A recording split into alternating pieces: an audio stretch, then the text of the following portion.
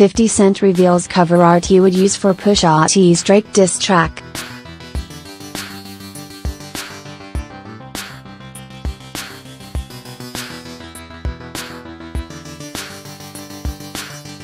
With Pusha T's response to Drake finally on wax, we now wait to see what Drake will say about the claims of him being a deadbeat dad towards his alleged son with Sophie Brussaux.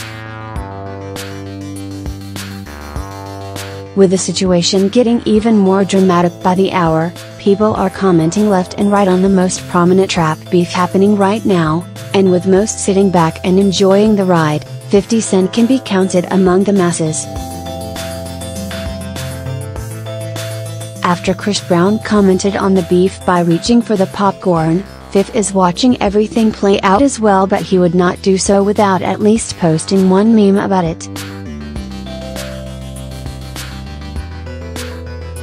With 50 having been involved in several beefs throughout his career, a meme was created to show just how petty the power producer would have been in Push's place.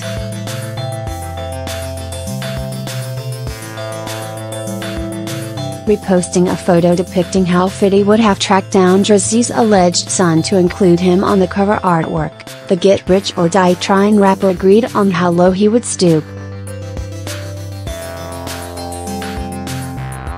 He added, This is kinda my style, but I'm just enjoying the show like everybody else on this one.